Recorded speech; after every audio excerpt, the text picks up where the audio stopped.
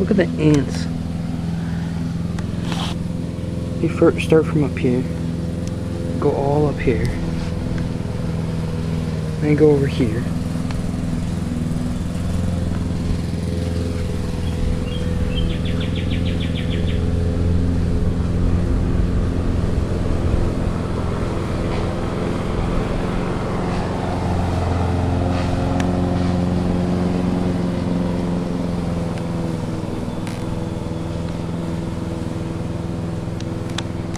Look at the front.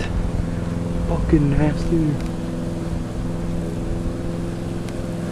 It's an old basketball hoop. And it's the ants' freaking crib. Got like 10 story crib now.